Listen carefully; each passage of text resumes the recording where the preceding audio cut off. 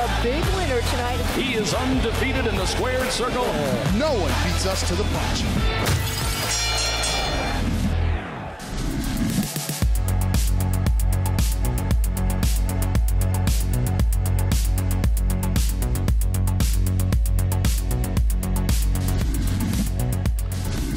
What's up, Bare Knuckle News fans? It's Big Boy, and I'm here in Tampa with our man, David Simpson. Dave, you came out here and fought. It didn't go your way, but Dave, you're a fighter, and you always bring it like you did tonight. Tell us, what's a little bit of thoughts going through your head right now? You know, I mean, it was it was a pretty good fight, you know, but main thing is he should, you know, he should have let me finish that round. You know, he stunned me. Uh, you know, I lost a second of time, but I was on my feet and I wasn't wobbling. And, uh, you know, I'll say when the fight's over if I can still continue, you know. So it hurts to lose like that, but everyone seems to be positive with me, and I just want to be out here soon. Yeah, you know, Dave, you're, you're an, absolute great fighter. We loved watching you fight uh, uh Scott in the last fight. We, you saw some battles with us, and you're a warrior, and we continue to like to see you fight. Tell us, what are you going to do now when you go back to the lab? Is training camp going to keep going the same, and, and when are you going to start fight ready for your next fight?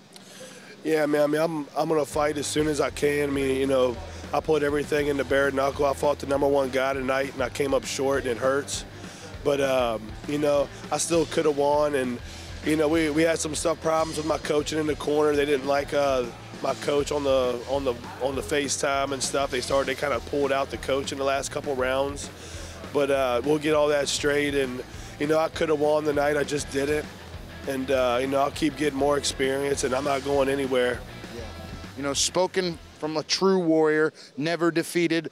Uh, one of the things I like to tell the fighters is a coach can't really teach you to win or lose. They can only teach you how to fight, and it's up to you to do either one. Dave, you proved that you're a tough fighter tonight. Any sponsors, friends, or your coach that you'd like to thank? Hey, I'd like to uh, thank my coach, Jason Williams. You know, I'm sorry I came up short tonight. He puts a lot of time into me, probably between six and 12 hours a week and uh, you know he believes in me a lot and thinks I'm you know I can be a champ. You know it just hurts that I didn't get it tonight. You know this is a big fight for me. Like I said, I wanted that guy's spot, but uh, you know I'm, I'm gonna start. I'm gonna be training Monday, and I'm gonna be trying to get out here as soon as I can. You know I banged up a little bit. I was in a fist fight, but I'm not hurt. I don't think, and I should be ready to go soon.